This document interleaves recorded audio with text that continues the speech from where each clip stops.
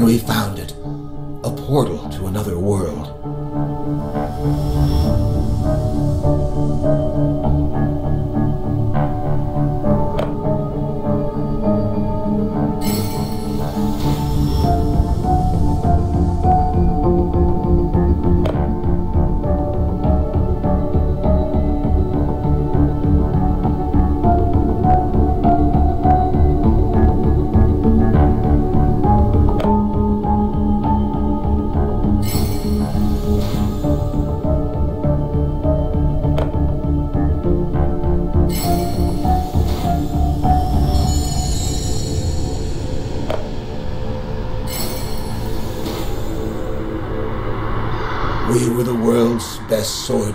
adventurers.